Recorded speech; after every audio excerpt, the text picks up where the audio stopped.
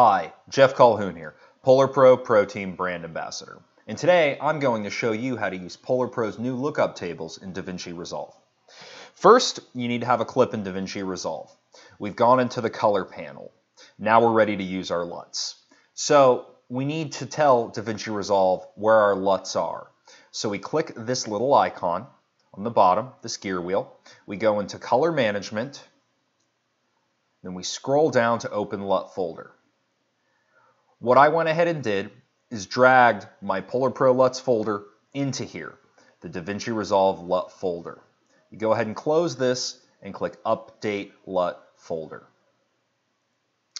From there, we can now right click and choose 3D LUT. And I'm going to go down to Polar Pro and I'm going to choose Classic.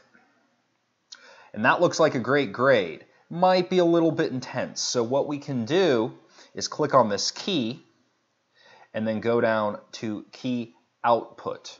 And we can either increase or decrease the gain of the LUT to our liking.